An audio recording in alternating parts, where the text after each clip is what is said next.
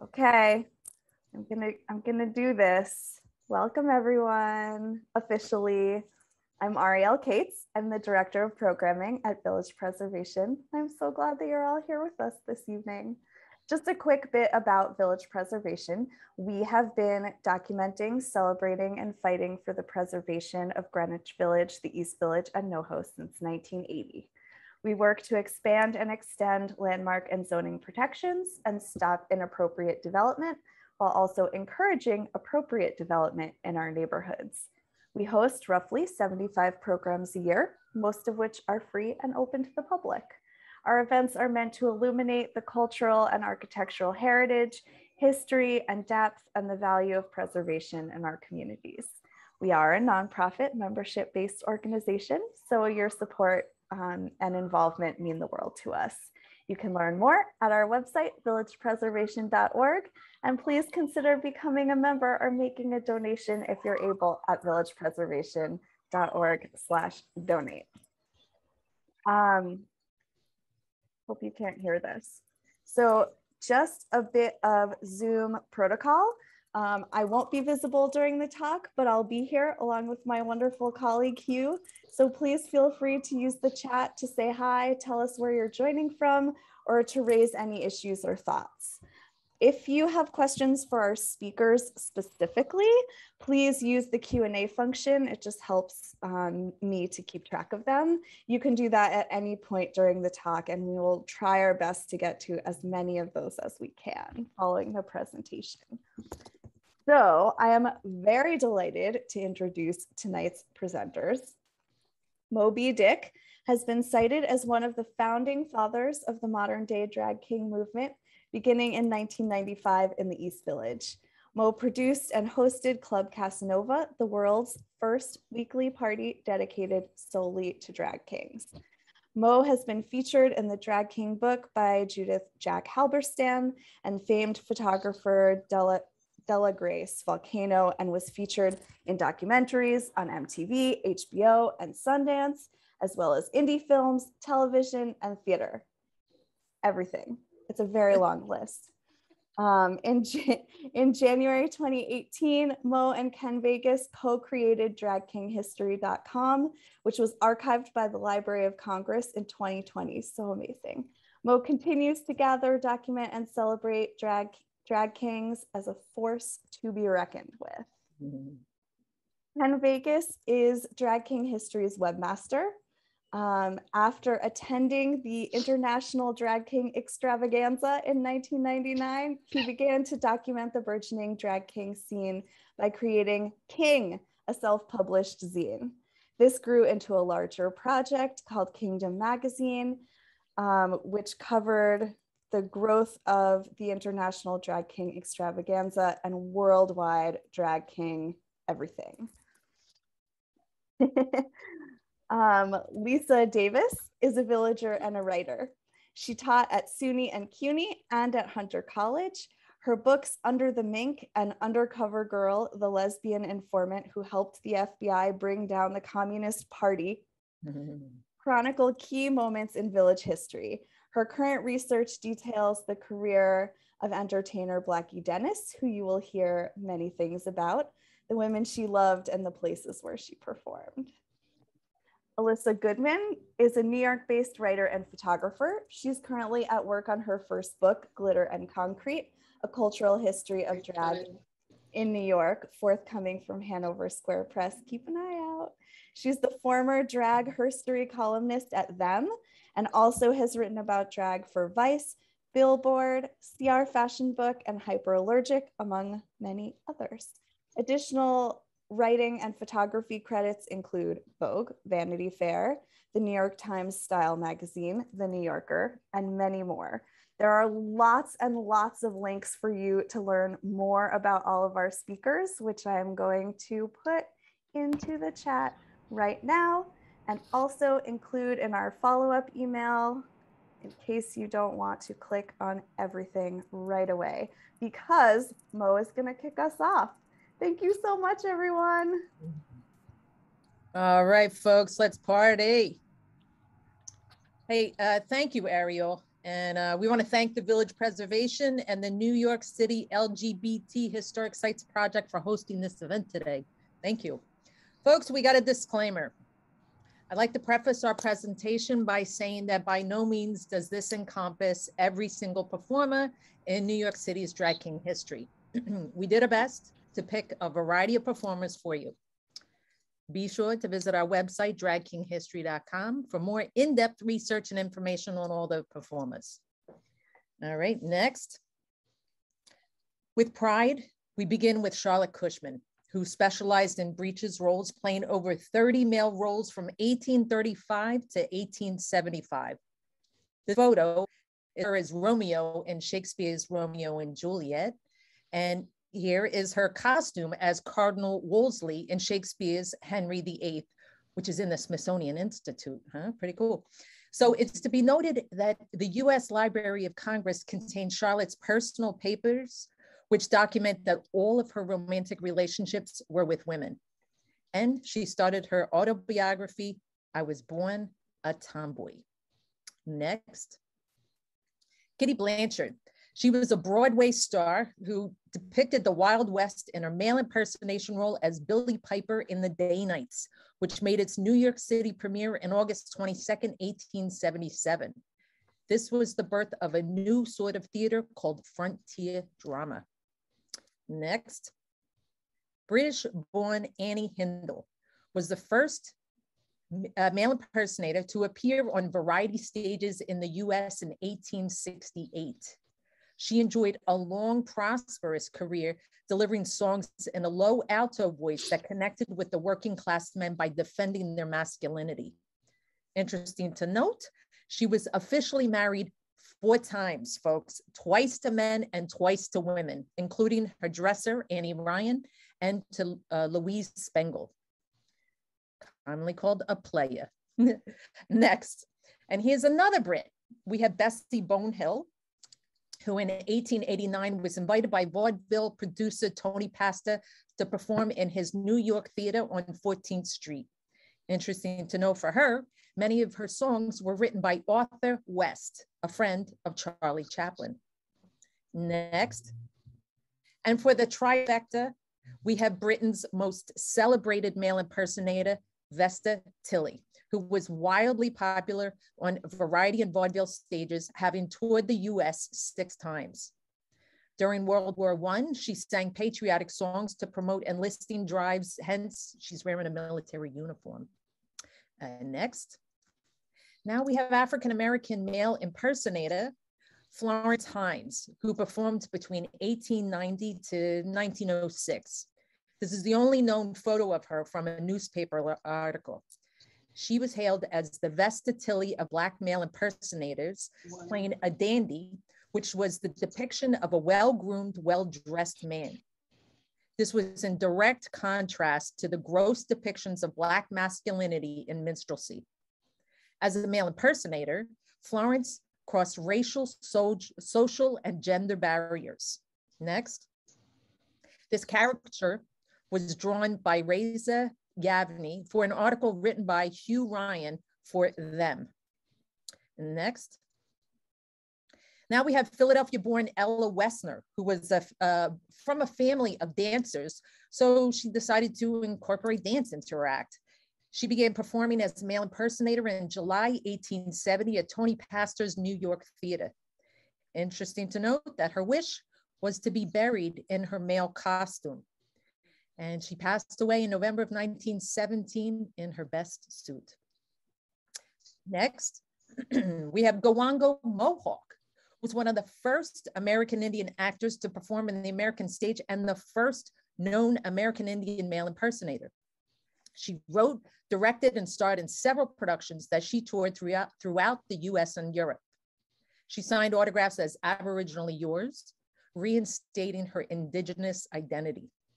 And the other photo is a promo for her play called Wep-Ton-No-Mah, the Indian Mail Carrier. Next, we have Maude Adams. Hmm. Her most famous role was playing Peter Pan, and she was the first actor to play this role on Broadway.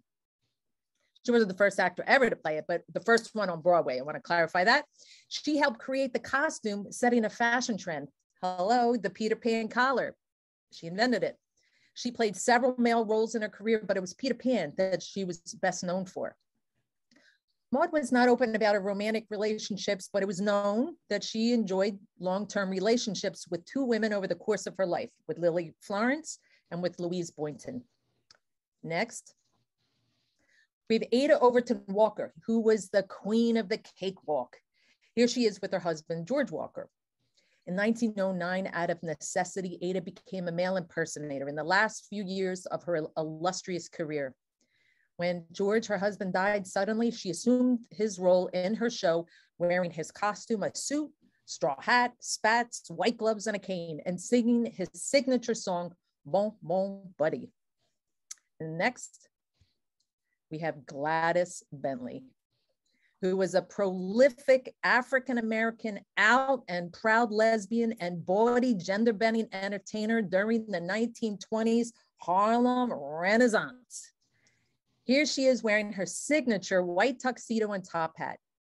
She performed at the Apollo Theater, the Cotton Club, the Clam House, and as a headlining act at the Ubangi Club, where she created her own musical revue with a chorus line of male impersonators and women's drag. All right, folks, next up we have Lisa E. Davis. Take it away, Lisa. Well, ladies and gentlemen, thank you so much for being here. Uh, the only reason I can talk about what I'm talking about is because I was fortunate enough when I was much younger to meet some of the people that you see here, particularly the young lady on the far left, the blonde. Her name was Gail Williams at the time. That was her stage name. This is a picture from the 181 Club. What I'm going to do, the landmarking people have done amazing work as far as locating where the clubs from way back when were. This is from probably about 1948. I, by the way, fished this out of uh, Gail Williams' garbage pail when she was living in Florida. I said, Gail, why are you, what are you throwing this away? She says, oh, nobody cares about that anymore. Hello. Well, we do care, don't we? This is the 181 uh, on second 181 Second Avenue between 11th and 12th. Uh, the site now of the Village East Cinemas, formerly the Yiddish Theater. So it had a long history. It was as uh, elegant as the Copacabana, they said. It ran from about from 1945 to 53. Next. Here's some more. This is uh, the kind of thing that the kids did. This is Gail. They waited tables. Uh, you can see from the mid shot what some of some of the audience looked like. Of course, without the mafia, there would have been no clubs like this. Uh, in Midtown, there had been a flourishing uh, theater with vaudeville, burlesque, lots of gay people, lots of gay clubs. In the 30s, they started closing them down because it was just too dangerous. They couldn't believe there were so many gay people in the world. And here's to you, Gail. Next. There's Gail and one of her girlfriends, Tony Bennett, because along with the drag kings, you usually had a stripper. And Tony was one of those. Her real name was Eileen Hayes. She came from Kansas City. I, as I say, I was fortunate enough to know these people personally. They were very kind to me and they were authentic. I wrote something about them that I will read briefly. They were the most authentic people I ever knew honest, open, critical, tolerant, gossips, tight lipped, sneaky, trustworthy. And they were kind to me. Tony Bennett, Eileen Hayes from Kansas City, who came to New York the way people used to do and learned to strip on 42nd Street, but then business was transferred to the village. Next. Ah, well, there you are. those are the people in the uh, in the cast. There was someone named Pat Burns who was a bit older. They all talked about Pat Burns, and I have not been able to get information on her. I did get a little hint, but you'd be surprised how people don't want to tell you, don't want to share photos, even if they have them, because I suppose they still consider it disgraceful. Adrian, who was a drag uh, drag queen, lived uh, until very recently in the village. I don't know if he's still around. He was a good friend of Tish, who died recently. Uh, next, see what else we got. Ha! We are moving on from the 181 to the Howdy Club, which actually preceded the 181. The Howdy Club ran from about 1935 let me see, what did I write? 1935 to 45, when they were closed down for immoral uh, activities. The police were always alert to that sort of thing. They were on West 3rd Street, 47 West 3rd Street. The landmarking people have have noticed that there's nothing there because it's the NYU library, which is NYU has done quite a job of taking care of that. And there were many, uh, these are the performance spaces. These are the nightclubs, but there were many lesbian bars along West 3rd Street, mainly because early on, if you look at the old subway and elevated train maps, the elevator, and there's a beautiful, a beautiful painting by John Sloan showing the Sixth Avenue elevated train turning east on Third Street and under that elevated train where property was cheap and uh, the underworld, there were many lesbian bars. The Howdy was one of those. Uh, Gail and Tony, actually, the friends you made in the first, uh, from the 181, were recruited out of the Howdy Club to work on stage. That's the way they did it. The mafiosi would uh, pick the girls they thought had potential. And that was the case for many people. They were just recruited out of the lesbian bars to go and uh, work on stage. There you are.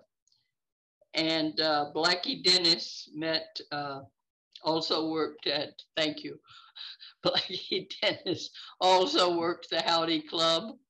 She met her girlfriend. Shall we see next? Who have we got next? Blackie Dennis was gorgeous. Here we are. This, as I say, this was an accepted form of entertainment. This is from the Women's Wear Daily, okay, where they are announcing that Blackie Dennis, whose real name was Michelina Lombino, and I thank the Lombino family profoundly for their cooperation and sharing photographs and news clippings like this because they adored their Aunt Blackie. They were not ashamed. And uh, here she is. They're announcing in the middle of all these guys, here's Blackie Dennis at the Howdy Club. Next. So it was not too risque. And here she is, not too clear, I'm afraid. It says Club Ha Ha, at least it should say that. The Club Ha Ha, the original, was on uh, West 52nd Street but as I said, that that was closing down. So there was a man named Charles Bay Baker who set up a ha ha. You get the idea. This was fun. It was fun and it was funny. You don't have to take it seriously, seeing all these women dressed up like men and men dressed up like women. Don't worry about it. It's just for fun. Uh, set up the Ha Ha Revue, where Blackie worked for 10 or 15 years. They worked basically in New York. And at the Ha Ha, there we are, the Ha Ha Revue. And sometimes they traveled around the country. Imagine New Castle, Pennsylvania. Hey, anyway, what's next? Ah, yes, Blackie had uh, had a girlfriend now, I don't know why they both had both chose the same last stage name, but they did. So Blackie Dennis, who was Lombino, became Dennis, and uh, Dorian, who was Renee Eisenstadt, who graduated from NYU with a bachelor's degree in chemistry and went to work for the city of New York, unfortunately analyzing garbage or sewage or something. She got the message quickly that that was not going to be a lot of fun, so she became a stripper. But anytime they wrote up Dorian Dennis, and they wrote up Dorian Dennis a lot, they usually mentioned the fact that she was a very educated stripper and drop dead gorgeous. This was Blackie's girlfriend for life. She also had another girlfriend who had money and paid the bills. But Dorian made a lot of money too. Big money in stripping. It was a good it was a good job if you were good at it. What's next? Ah, okay. Now, moving from the 181, we did the Howdy Club. We're now going to the Moroccan Village, which was the other big uh, entertainment venue for drag kings, drag queens, and others. Uh, that's uh, on 8th Street, which used to be a fabulous nightclub thing before it became retail space available and little sheds for uh, eating tortillas and things.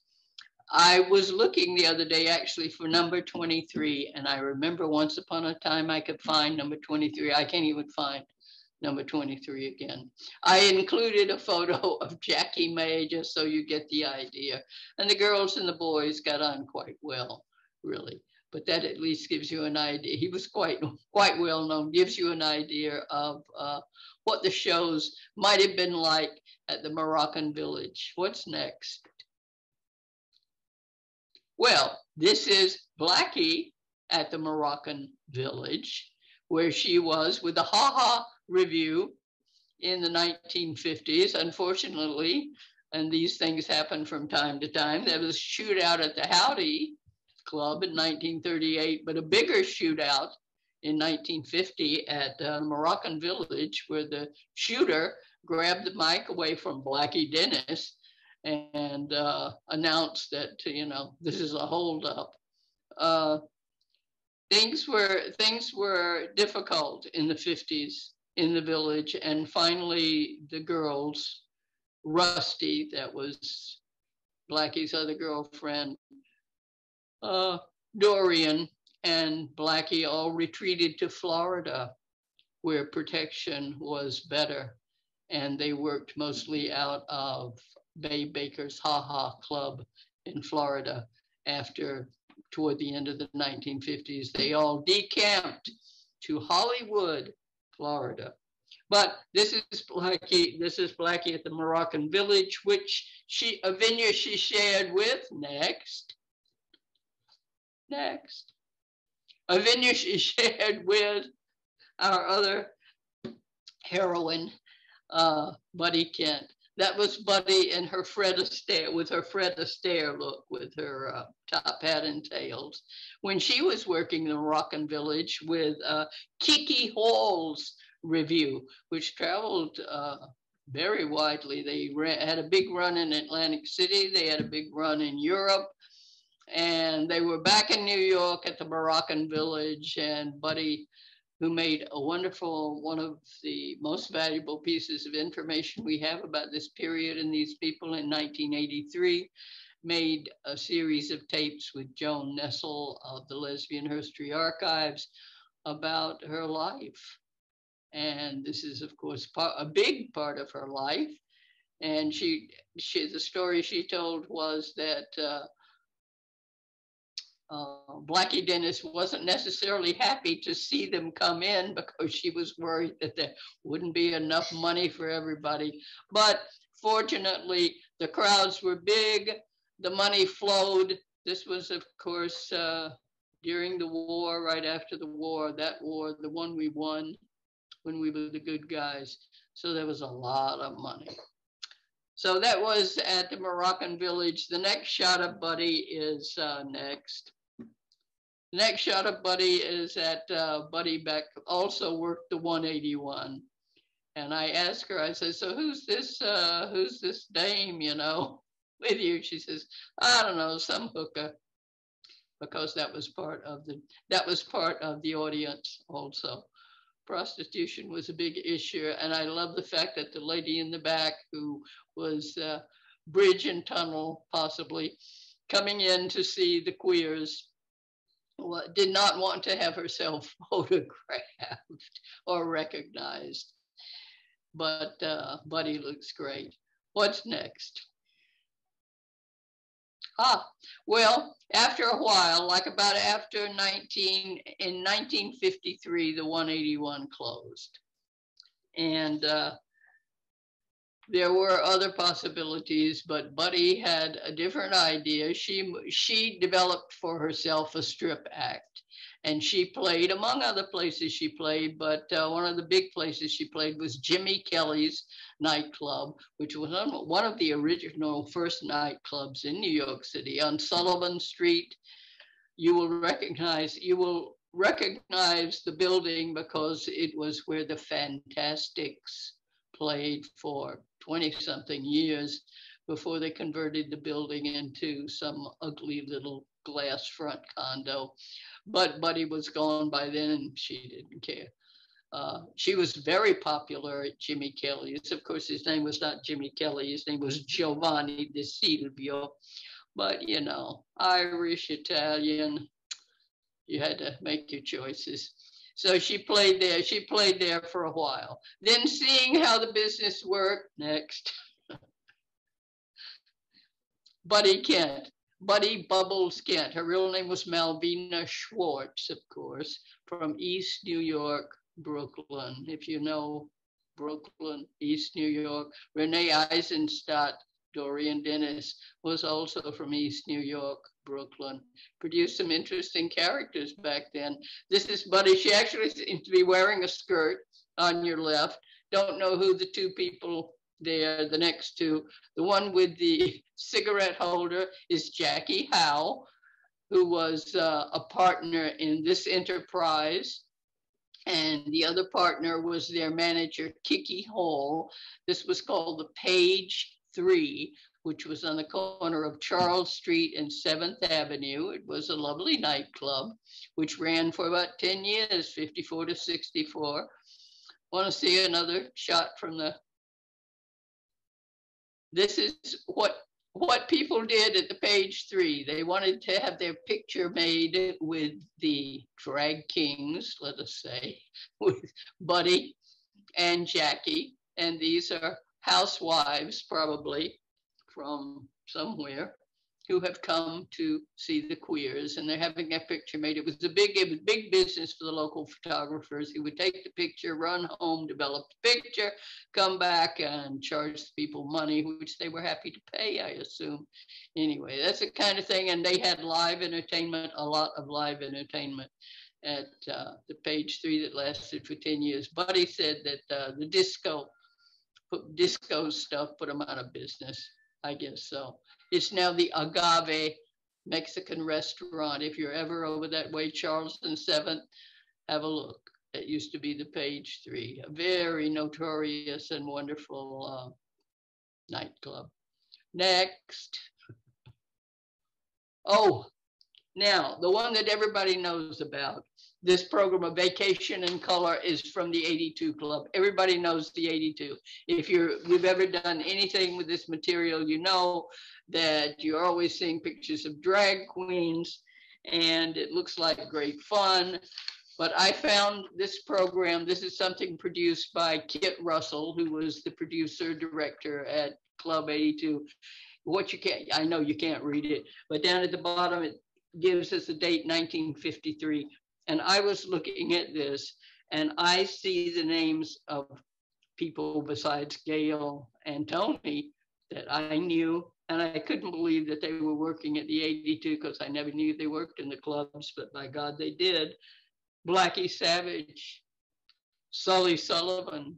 I know you can't read these. Take my word. Pat Burns, uh, Mickey Falvey, who was a very beautiful film that I knew. Uh, all worked at the 82 Club, but nobody ever talks much about the girls at the 82 Club. Well, here they are. There were girls, and I wrote about them. And the book's still up on Amazon. You'll forgive me, it's on Amazon. That's how you sell books. Thank you. The end. Woo! Hi, Stormy. Thank you, Lisa. All righty. Uh, if we could, there you go. Thank you.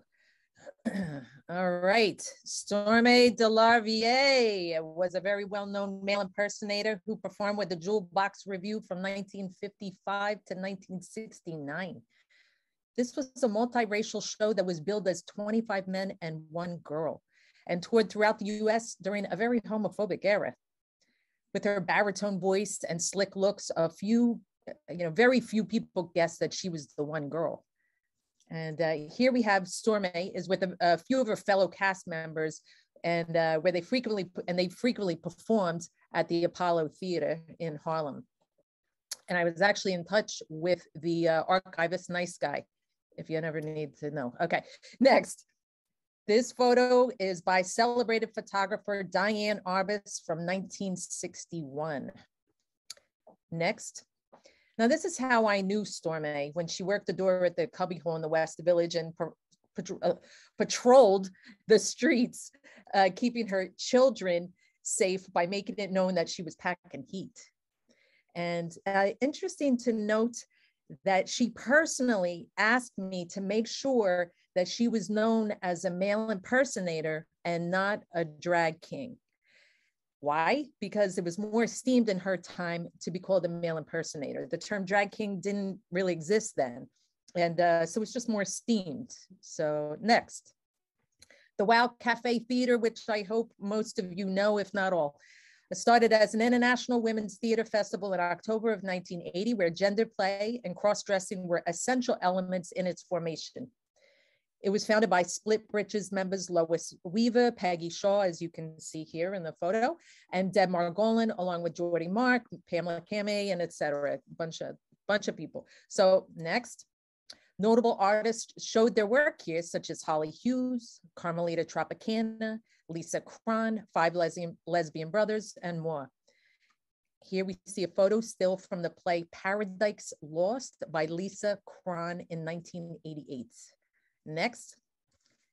The tradition here is that women and or transgender people provide the central creative impetus behind a show at WOW.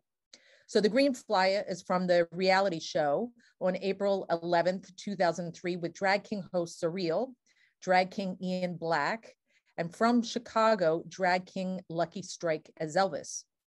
I want to give a shout out uh, to drag king Mr. Coles, who is uh, in attendance and who is very much a part of WOW Theater and uh, has done many productions there as well. Uh, so as I said in my disclaimer, we didn't get to mention every single person, but doing our best. So the other fly is from the Freak Affair on March 27th, 2020, hosted by Drag King Uncle Freak. Next, Johnny Science was an F to M pioneer who co-founded the F to, M fraternity, which was the first support group to meet in New York City for female to male transsexuals, female to male cross dressers, their partners and friends.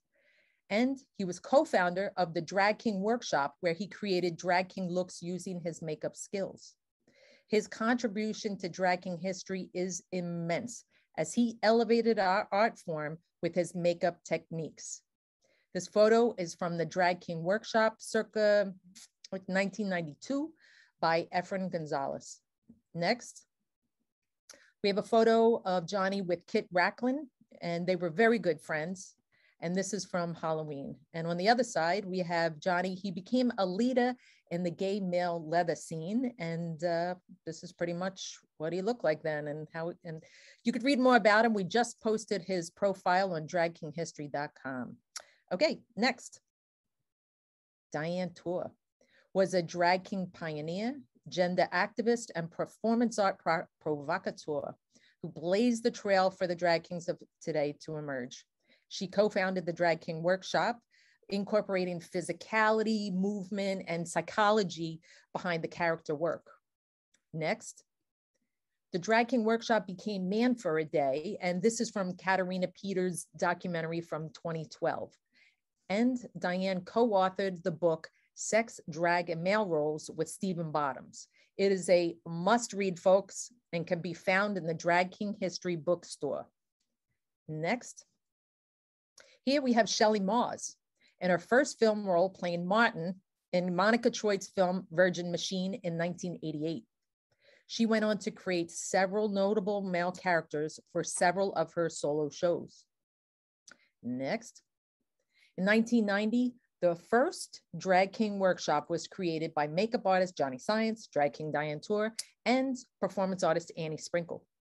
Here are before and after shots of participants from 1993 in New York City as featured in an article for the Washington Post by Paula Span. Next. We have Buster Hyman, Julie Wheeler, and Just, Justin Case. These three drag kings were active in the New York City downtown scene in the early 1990s and influence more drag kings to emerge. Next. Oh, who's that? uh, I began in November 1995. I produced and hosted the Drag King Party Club Casanova, which we're going to see in a few minutes. Um, and as Ariel said, I'm cited as one of the forefathers of the modern day drag king movement. This photo is by a photographer named Pat Rivera, who was mentored by Nan Goldin. Next. Many thanks to all the wonderful photographers who freely shared the work with me. This photo is by Efren Gonzalez and it made the cover of Black Sheets, a gay male leather magazine. Next. Now here I was impersonating John Sex, who was a downtown performer. Uh, his shirt was gifted to me by Danny Johnson. Next. This was taken at the top of the World Trade Center in 1997 by Lucien Samaha. Next.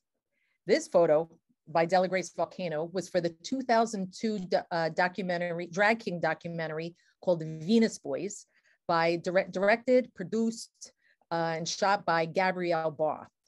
And the photo, funnily enough, uh, landed on a phone booth in Belfast, Ireland. Now, Venus Boyz was the first ever feature length documentary about drag kings. Next, we have a beloved Haitian American drag king, Dread, who began in December 1995. Next, this is Dread with fellow uh, drag king Sean. They did numerous duets together. And uh, this was photographed by Del LaGrace Volcano for the Drag King book. Next, she was a gender bender extraordinaire, as evidenced here. Next. This photo still is from the Drag King documentary Venus Boyz with her performing partner and longtime friend, Queen Bee Luscious. Next, Murray Hill, who began in 1996 as the hardest working man in show business. In 1997, he ran for mayor of New York City as the first drag king to run for a political office. And folks, he garnered a couple hundred write-in votes. Uh, next, he produced and hosted the first ever Drag King Invitational in New York City on October 7th, 2001. Nowadays, you can see him in solo shows at Joe's Pub, hosting the Oscars, doing holiday shows, and a guest star on Amy Schumer's latest television show. Next, Club Casanova was the world's first weekly drag king party from 1996 to 1997, and its influence is still felt today. This photo is from our first ever professional photo shoot for Club Casanova by Michael Wakefield. And in it, you're going to find the drag kings who started many of the first Club Casanova shows. Next. Now, this is a flyer from a drag king contest at Hippie Chicks Gallery on December 17th, 1995 at Global 33 Restaurant, which was located at 90, uh, 93 Second Avenue. Dread won it and was the first of many drag king contests that she won. Next. Now we have Club Casanova's first flyer, A Night with the Beatles, that was on March 31st, 1996. That was opening night at Pyramid Club, 101 Avenue A. Next. This is our Leather Daddy shoot for the Drag King rendition of the film Cruisin' by Al, uh, with Al Pacino. And this photo is by Efren Gonzalez, and it was taken at Cake at 99 Avenue B in 1996. Just you know, so the Club Casanova moved around in the beginning. We had to find our place, and our place was at Cake. That's where it clicked. Okie dokie. So the next shot is a crowd shot of Drag King pencil case uh, hula hooping. Folks, notice the press. Look at that. Look at it. The press on the bottom, and you could see the ca- film cameras. There's two film cameras in the press. The small little bar, and we had so much exposure. It's crazy. I wish wish we could see that today, but uh, one day. Um, next, we have Murray Hill announcing his candidacy for mayor of New York City in 1997. This photo is by Lucien Samaha. And next, this was from 1998. This is the men of Club Casanova with Storme DeLarverie at the New York City LGBT, uh, I believe it's now called LGBTQ plus Center Community Center. Next folks, we garnered a lot of press and we were very, very grateful for everything. It was just uh, mind blowing how much press we got. And it was really cool. People came in, like I said, the press all over the world, and we were in all kinds of magazines, and was pretty fucking cool. Um, all right, next. Now, these two articles are from May 1997, 1997, and they signaled the beginning of the end of the vibrant nightlife community in Manhattan.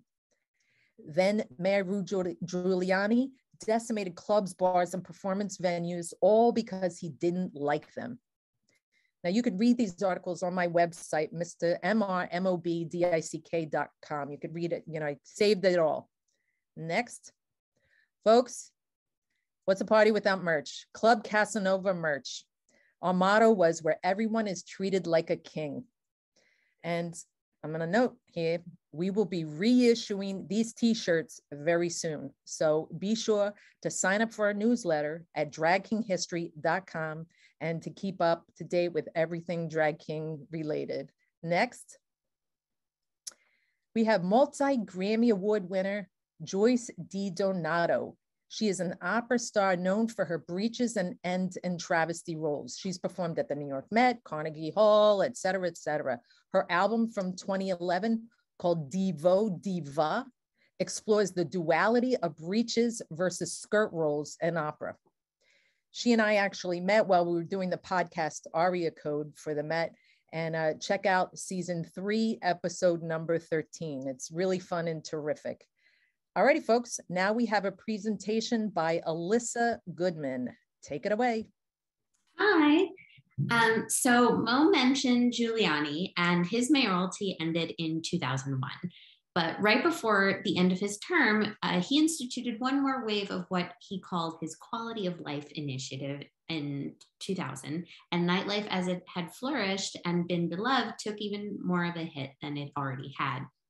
It became difficult, though not impossible, to find places to perform around the city. But by the time, but by that time, uh, 9 11 sorry. but by the time 9 11 happened, there were even more changes afoot.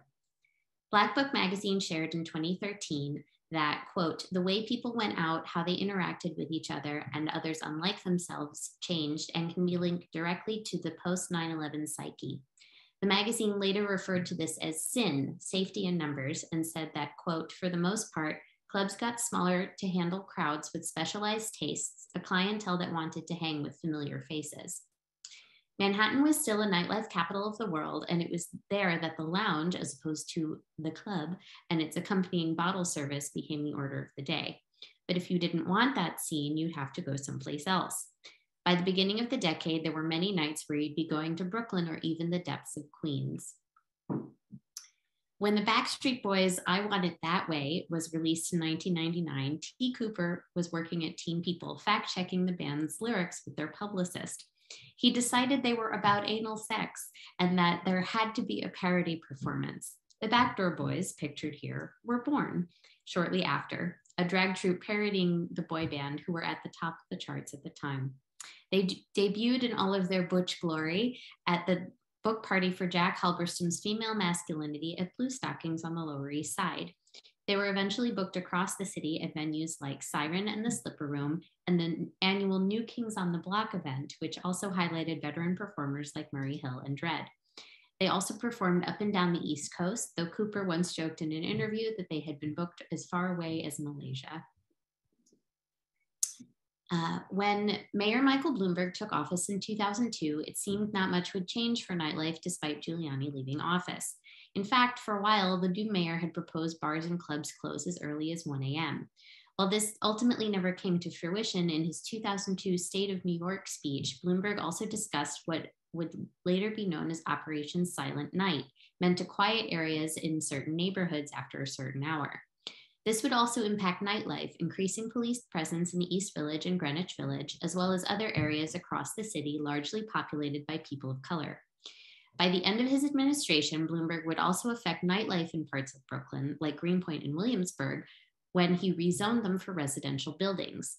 This meant that venues like bars and clubs and the noise that they bring with them soon wouldn't be as acceptable in those neighborhoods either and would move further into the borough by the beginning of the next decade. Next slide, please. Dr. Wang Newton was born on Halloween 2004 in Philadelphia, but was soon performing in New York venues like famed yet now defunct lesbian bar Rubyfruit and Hell's Kitchen's Vlada. Their onstage persona, I wrote in 2018, is, quote, that of a 1970s Vegas style MC, a Taiwanese version of Wayne Newton attired in a red or black embroidered suit an Elvis wig, aviator style glasses, thick eyebrows and mustache, and a giant red lace thong in their pocket to dab away perspiration for comedic effect. Wang was interested not just in gender fucking with his drag, but what he has called culture fucking, parodying cultural stereotypes to reveal their absurdity. Next slide, please. And here is a clip of Wang in action at New York Fashion Week.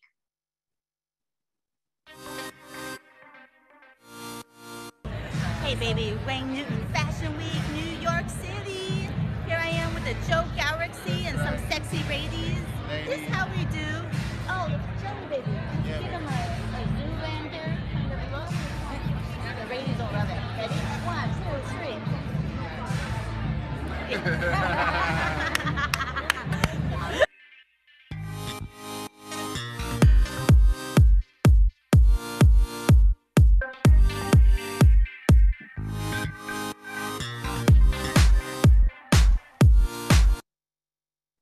Next slide, please. Next slide. There we go. By the time Wayne began performing lesbian bars, some of which had featured drag kings in the past, were still an active phenomenon.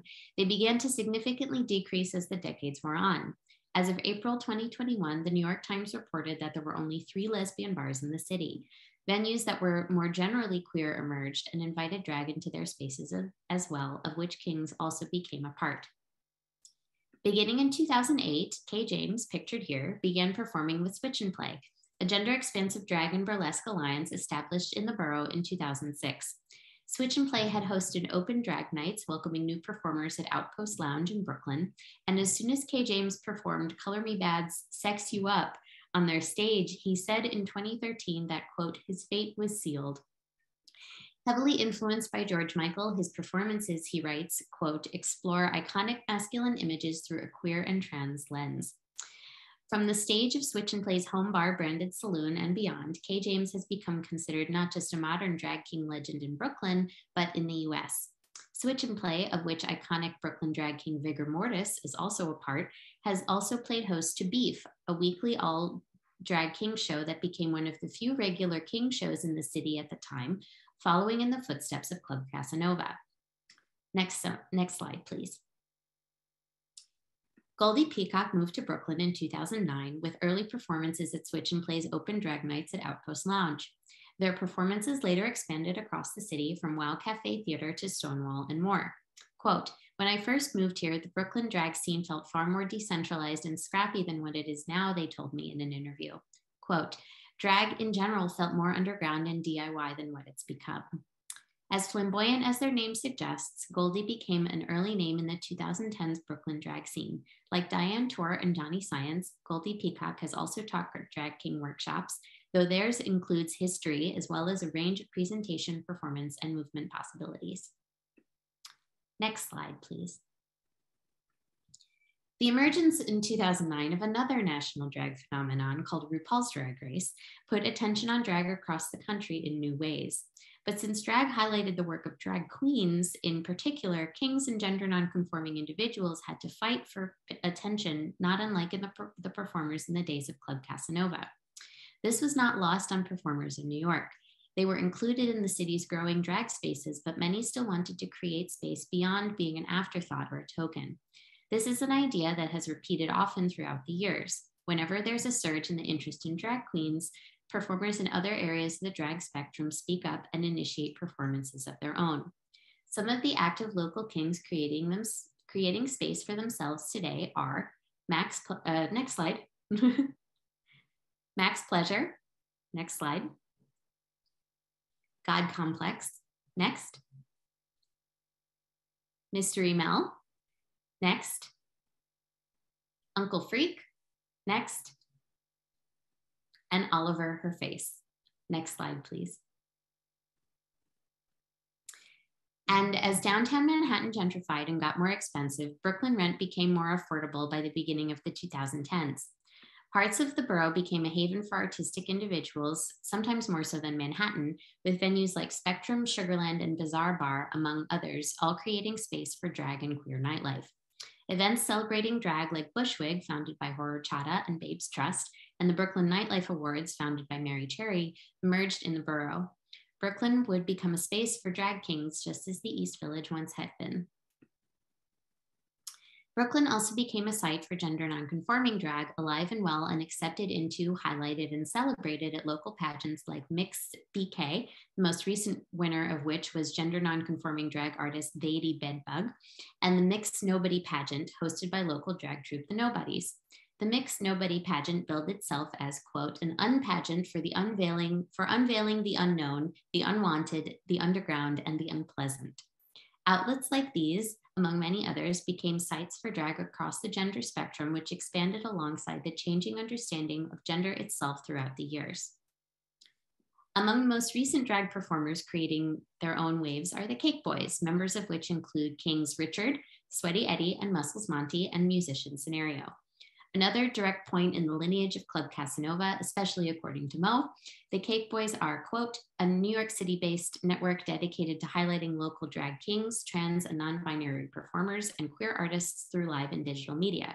And here is a trailer from a recent show so you can see an example of their work. Sorry to leave you hanging. I had to hide out for a bit.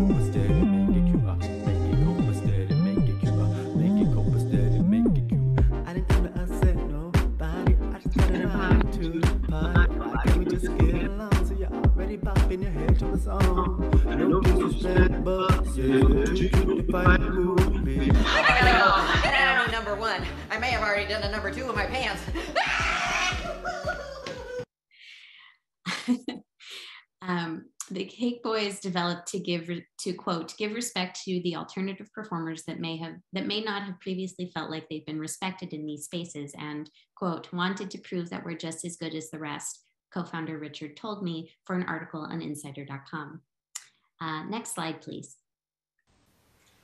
Oh next slide. There we go. No no no perfect okay In a recent competition called Takes the Cake, inspired by the Mixed Nobody competition, performers lovingly called Kings and Things took to the stage in a friendly competition more meant to inspire community than pit performers against each other. I just feel like we're pulling away and creating a new narrative of what drag can be, Muscles Monty told me also for an article on insider.com. The winner of the competition was Klondyke, K L O N D Y K E, who has in turn themselves created a new show for performers across the drag spectrum at Purgatory in Brooklyn. Uh, though the mention of drag on a national scale tends to still focus on queens, Kings and even more royalty have started to become included on a larger scale, with features in the likes of the New York Times, Vogue, GQ, and many others. Recently, the drag horror competition Dragula featured its first drag king contestant and winner, Landon Cider, and Chicago's Tenderoni won the 2021 Drag Queen of the Year pageant. Drag kings throughout history have sought to have sought the form as a means of economic empowerment, a way to assert and fight for social standing and political privilege.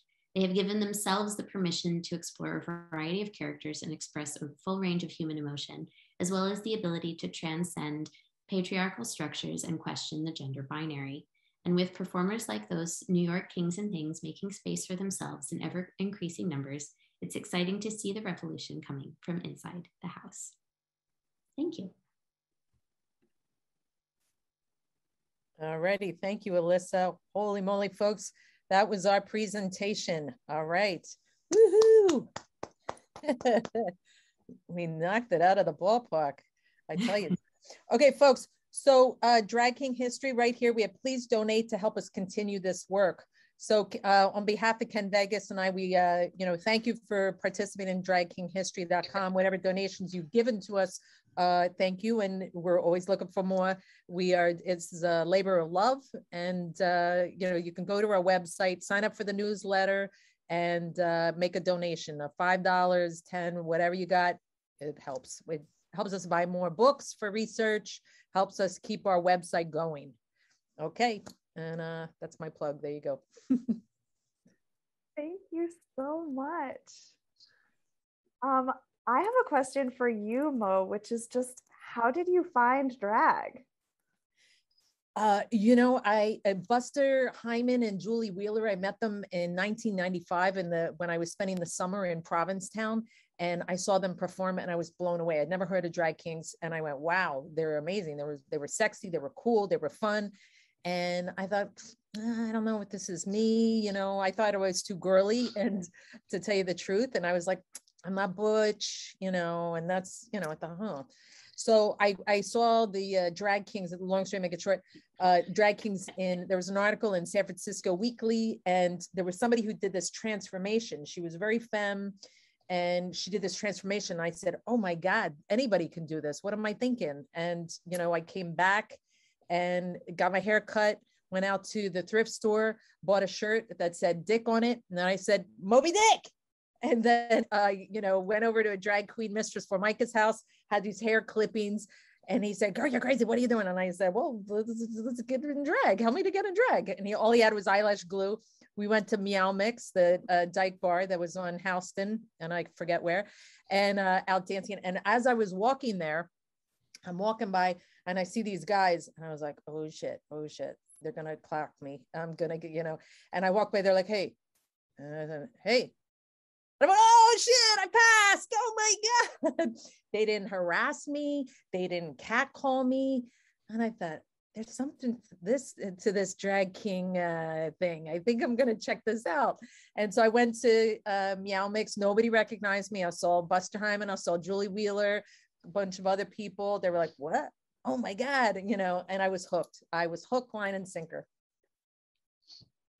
that's a, the answer to that. Elyssa, I wanted to ask you the same question. Um, well, I'm actually not a performer. I'm just a I'm a person who loves an art form, and drag has been a part of my life for uh, 25 years, I would say, and I've been writing about it professionally for about 11 years.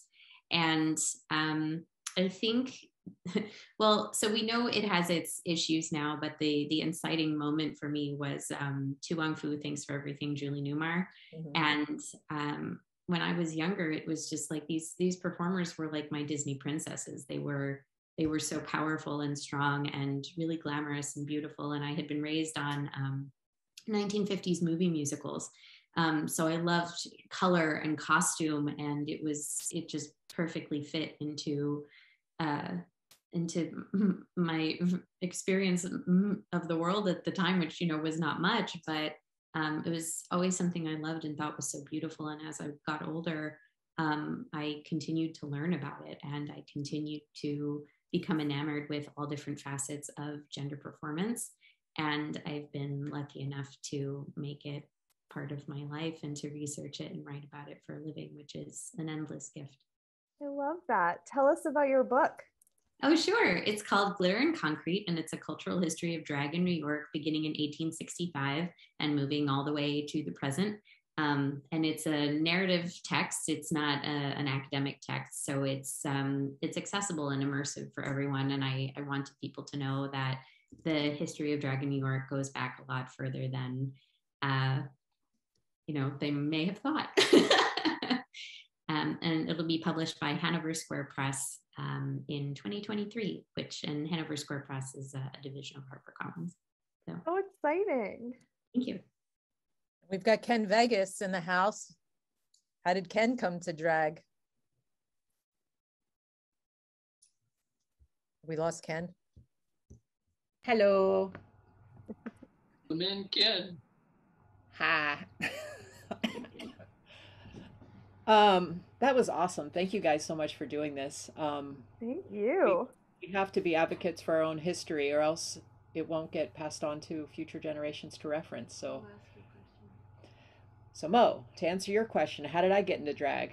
Um, it was a bet back in 1996. There was a drag king con- contest um, that was inspired off of uh, Cheryl Ann Spector, who went to New York, who saw drag kings during Pride and was like, "We have to have drag kings in DC." So she encouraged the um, the the lesbian Avengers to do their own drag king contest to raise money for their for the Dyke March, and um, on a bet, I was I was asked to go ahead and, and try my hat at drag kinging, and I didn't know what it, what it was. I, I just was told um, you just need to dress up in a suit and put on a mustache. So I just penciled on a mustache, borrowed my friend's suit, which is a little too small for me, but anyways, I managed. And um, I just danced around like I did back in when I was 15 years old, dancing to George Michael, and I I was having so much fun and just the social dynamic of how people treated me differently just because they saw a mustache and a suit.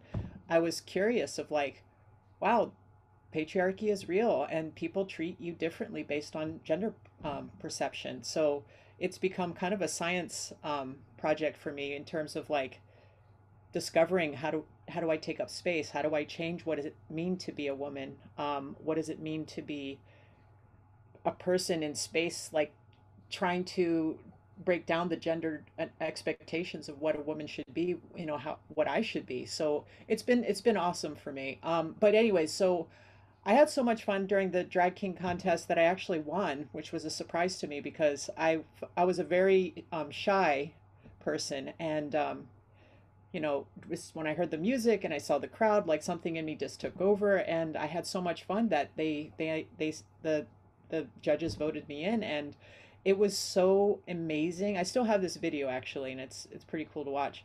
Um, that when I had the opportunity to open doors for other drag kings, I I wanted them to experience that kind of validation and that kind of um, recognition and and just you know seeing their specialness because I think a lot of us queers don't really have a nurturing environment around us. And you know since i was in a position of producing shows i wanted to i wanted to provide that nurturing environment to say hey you're awesome for exactly who you are.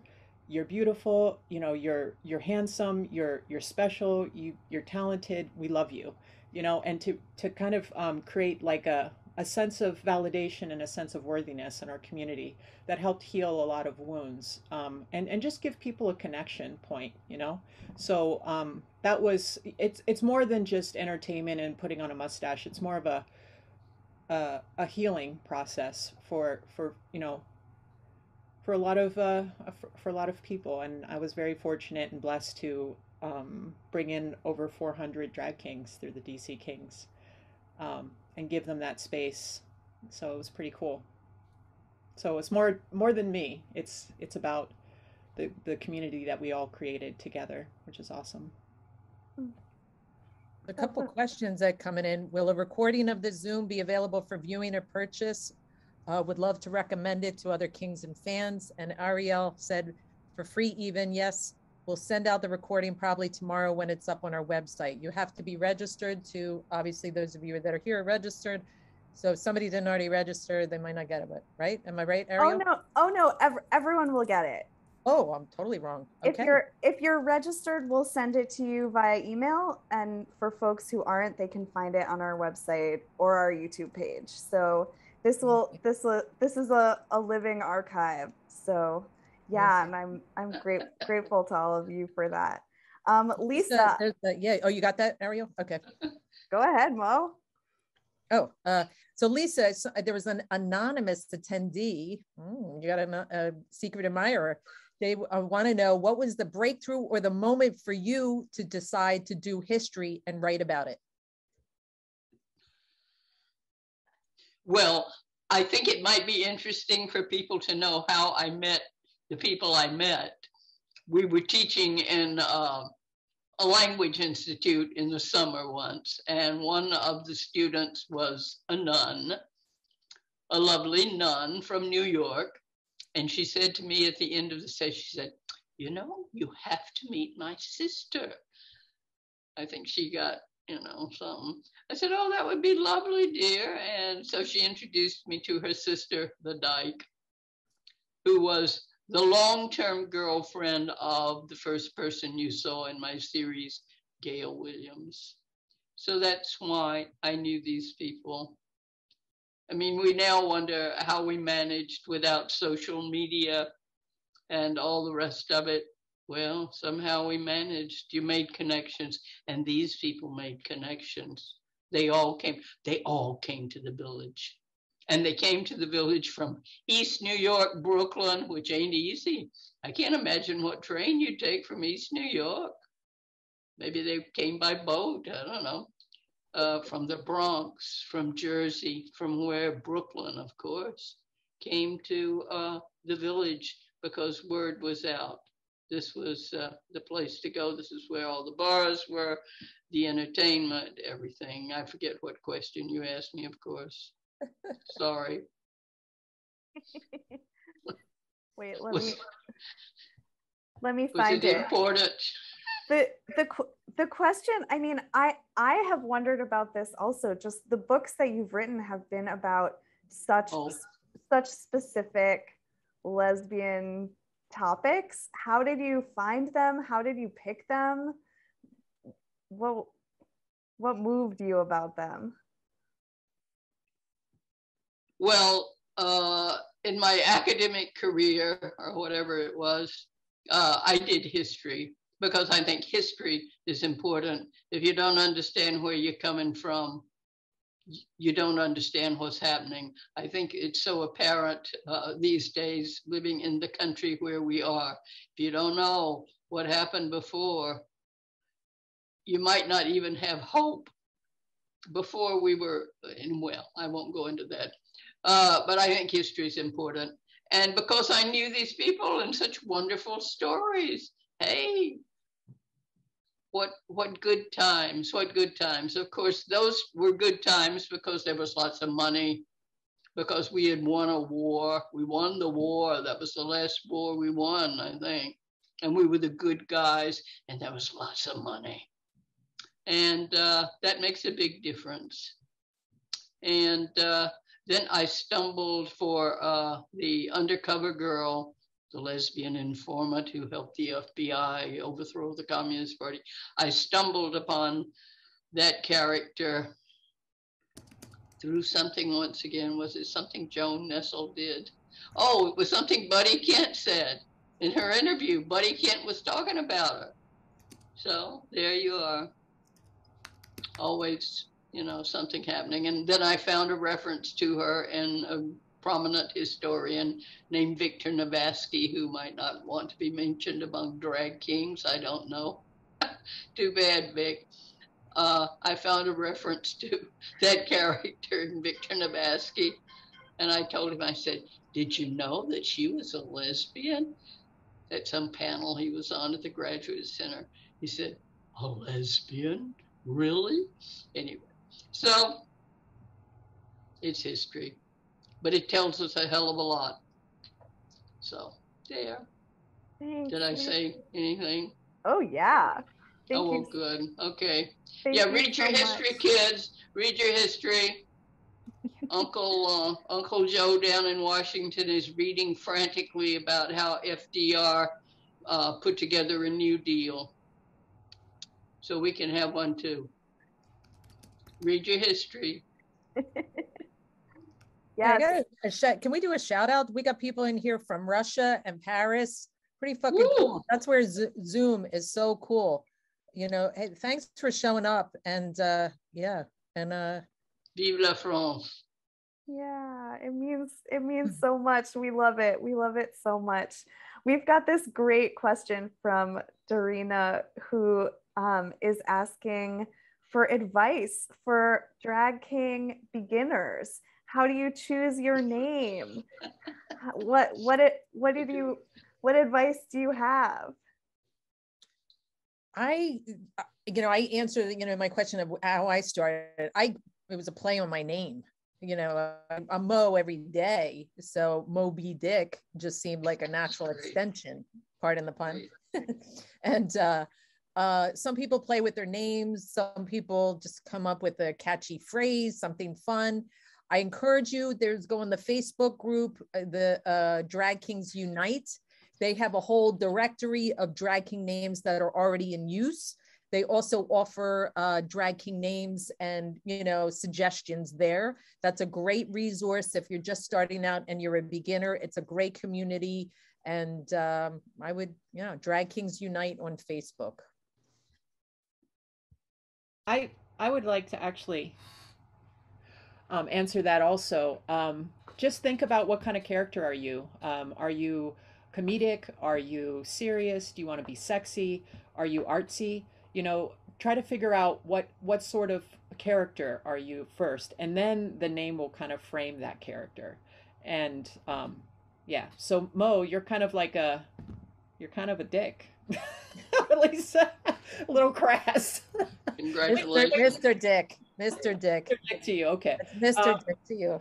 Well, just in making fun of men and you know how they speak and stuff. And I remember going to um, New York to watch you at Club Casanova, and just you were very, you know, outspoken and very patriarchal in, in some of the jokes that you would make. And I was just like not sure about it. But then once you, when I got to know you, you explained to me that you were literally making fun of men, and this was your way of of doing it. So you know, your name kind of is synonymous with your act. Yeah, because uh, my motto was instead of being an angry woman, I became a funny man because I was so tired of walking the streets of New York City and getting catcalled and getting harassed. And it was just fucking annoying. And growing up with a family of six brothers and getting, you know, you had to fend your way through the, I had to fend myself, fend for myself, you know, and it was, it's tough. And, and, and still, like, look at what's happening in our world today, all the bullshit that women have to go through. It's fucking ridiculous. Talk about getting me angry. Yeah, mm. there you go. you know, it's, I mean, You we're still it. fighting abortion. Like, that's still an issue. I mean, come on, you know, just create like the w- women are losing agency over our own lives. And this is what infuriates me. So if I can be outspoken, if I can throw in a wig and a mustache and be outspoken about it and people can laugh and hear me and listen, then I've made my point. Do you follow me? You know what I mean? So it's like, you know, if I'm a dick about it, then, you know, look at all the guys that are dicks. That's what I look at, you know? And so it's, you know, I, instead of being an angry woman, I became a funny man. And, you know, so I- nobody wants to hear an angry woman, but a, an outspoken guy, oh, ha, ha, ha, ha, ha, ha, ha, you know? And I thought, wow, are these people sadists? I didn't understand it when I first was, you know, performing. And uh, yeah, so that's how I, it's, it's, I come from it from a perspective. And I got to tell you, in the Drag King anthology, I don't recall her uh, name. The person who wrote about me in that, it was, uh, it's you can see it on my uh, profile on dragkinghistory.com. She wrote, it was the best synopsis. She got it. She got exactly what I'm doing. And I was like, Is that Donna Troka? I don't know if it was Donna who wrote about me, but it was that's the book that Donna edited along with uh, two other people, and um, Drag King uh, anthology. You could Drag King history. We've got a bookstore, as I've mentioned a couple times. You know, so um, and um, the in the bookstore we we have it broken down to research. You know, and you know, fun. So uh, fiction and film and you know so we're always looking for more things uh, um the frenchie wait for well, i'm sorry i forgot your name so rude chris Uh, you know what, Chris? If you got that film and you want us to uh, document it on Drag King History, please send it to us, info at dragkinghistory.com. If there's a way people can view it, they can purchase it, you know, whatever, we'd love to put it, post it on our site. And as mentioned, our website is being archived by the US Library of Congress. Not quite yet, but eventually it will. We're in the queue and uh, they you know reached out to us and i mean how cool is that so all Yeah, this information wa- folks is going to last for generations Yeah, I wanted to ask about getting picked up by the Library of Congress. What? last year in the middle of the quarantine they contact they sent us an email and I, I called up ken. I said what does this mean? I was like what is this? Like i i, I what, what's happening here? And we both were like you know we're googling away and we said holy shit this is mind-blowing. Oh my god. The u.s library of congress wants they know about our website and they want to archive us. I mean i oh i got chills right now when i just said that. And i mean it's so freaking cool. So this is going to last. Like if we you know when we keel over this is going to stay. This is going to remain for researchers for people from generations and generations to come super cool. I cool think, I think what it says is there are lots of gay librarians at the Library of Congress. More, In other words, more smart- than smart ever people before. there's a Yeah. lot of smart people working there Yep. Well, Oh, I man, used to, I used to do a lot of things there and you can find all kind of stuff and it's one crazy place. So, uh, welcome to the Library of Congress. So, uh, Met, Metra Sab Sabarova, sorry if I may mispronounce your name, said, uh, yeah, from Latvia. So, wanted to ask, how do we see the USA king relations with European kings nowadays, knowing the distance and possible cultural difference, but sharing the same lack of spaces and visibility? Uh, I, I co-hosted, uh, I mean, I hosted and co-produced uh, a production last year in quarantine, Kings of the World, the, which was a global cyber drag king variety show. We had six of the seven continents represented in this show. It was so much fun. And that was a great opportunity to bring the drag kings of the world together in one location. And it was so much fun. The chat room was blowing up. And I mean, a lot of the fellas that are in the uh, in attendees, I, you know, I saw them, they were there and just really cool. And so that expanded the drag king community. Again, uh, another plug, I don't run it, but uh, Drag Kings Unite is a great, uh, great community and uh, you can find support there. So in terms of visibility, you know, it's a woman thing. You know, we still, America still doesn't have a female as a president. And uh, thankfully we have a vice president in office. Vice but, President. You know, but not a, you know, let's hope she gets uh, bumped up and, uh, you know, we'll be living in a better world. Go Kamala. I like I like this as um as a last question um from Brienne about is New York City considered a powerful drag king haven? Where else where else is there? Hmm. I mean, we all know that the village is the center of the world, right? That's a great question, Brienne. Um, thank you for that. And uh, thank you for all the questions for everybody asking. Uh, there are, holy moly. I mean, Ken had, you know, for 15 years uh, uh, hosted and produced uh, uh, the DC Kings. And I mean, they're huge scene in uh, San Francisco, huge scene in Chicago, uh, Ireland, um, you know, Dublin. Uh, uh, I mean, the kings of the world. I'm, I'm like scanning the world. I mean, it was incredible. There are drag king scenes Yeah. all over the world. Yeah. And it's so friggin' cool.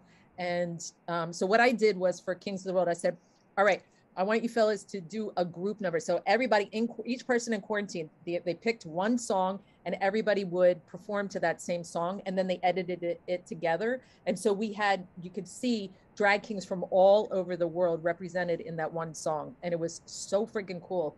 Israel, um, you know, it was all over France, Spain, um, uh, not Singapore, uh, Korea, uh, Japan. There was a couple of drag kings in Japan.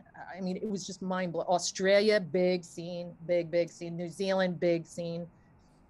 Um, It was amazing. South Africa, So the question, the last question was, is there a lot of connection to other communities in the states and beyond? Um, I think what Mo did was, you know, doing it virtually um, and finding that space for it, which was excellent considering we can't fly to see each other. Um, so that was a definite solution for, for that connection. And I think we'll have to explore more of that in the future um, in this new normal. Yeah. Yeah. Yeah, Ken and I produced a great show. Um, uh, uh, sorry, I know we got to close. Um, but so I'll just say, you know, it was Drag King Legends, and it was the drag kings with 25 or more years, and that was in February of this year, and uh, it was fantastic, a phenomenal show. We had uh, 15 people that we, uh, 15 performers that we showcased, and uh, the drag king, we're here, you know, we're here, and we've been around, and you know, and stuff, and and as you can see from the press, and a lot of other kings have gotten press. A lot, as Elyssa said, a lot of the kings have uh, gotten accolades and won awards and contests and all that. So it's happening. It's here, and you know, it's uh, you know, it, the, the the difference. You know, it's people will laugh when a man puts on a dress, and you know, they'll think it's a little more serious when you know it's more threatening for a woman to put on a suit you know? So people don't see it as comedy. Female masculinity is still something that is um it, it's not revered. It's it's considered like oh you know? We're usurping male power and privilege. And that's Right. like oh wait a minute ah," Let's you know, do it. silly. Yeah it's silly. Well we're doing it. We all, we've been doing it. We don't you know we don't Yes, need a women, mustache to do women it. in suits. Women in suits are scarier than men in dresses. Men in dresses are kind of fun, but uh, women in suits a little dangerous. Too bad.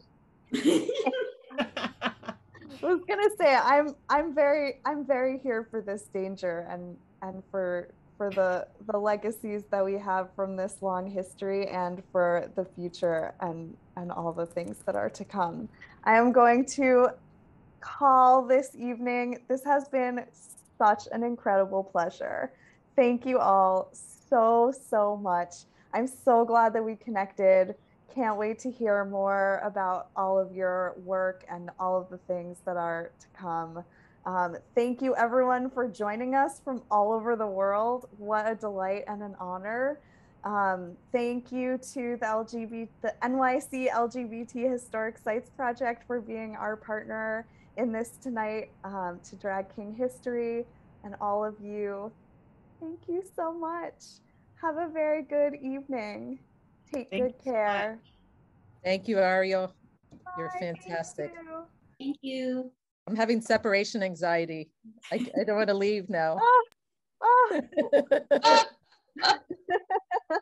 we'll See you talk. soon. We'll talk soon for sure. Great. Can we just acknowledge that we nailed it? We did it. We did it in, in an hour. I Can think so. You did that? it. Yes. yes. We did it in an Yes. hour. Right? All right. I just More to was like, come. ask ask. Ken. I work really fast. Yeah. really fast. That's one thing. It's like, you know, you put me to task and I'm like, okay. Yeah, you did awesome. Amazing. Oh, thank you. I mean, from yesterday, from the rehearsal to to, to today. Uh, re- hello, right? Incredible. Yeah. And Incredible. The, the thing is, it's like I my mind I get blown because there's so much information that I have a hard time, you know, Narrating. synthesizing it. It's just I I feel like these women are whispering in my ears, and it's our obligation to share their stories and share their magic. It And, you know, I is. get like, It oh, I got it. uh, but uh, I mean, going through the pictures, I was like, oh, oh, Ken, I can't, I can't, I can't. You know, I didn't want to cut anything out. You know, I love these women. I love everybody.